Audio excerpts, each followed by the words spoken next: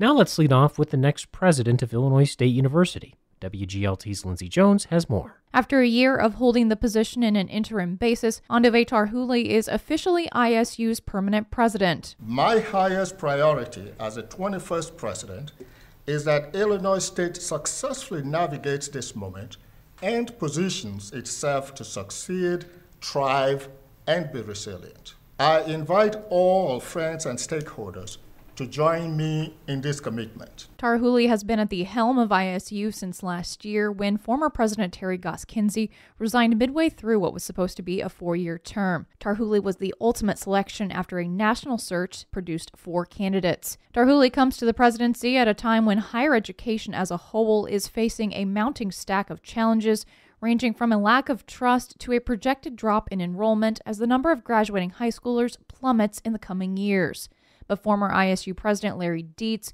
who hired Tarhule as provost back in 2020, says he believes Tarhule is the person to meet the moment. Dietz followed ISU's national presidential search closely. But he's very capable of understanding the trends that are out there and trying to provide plans. He's a great strategic planner.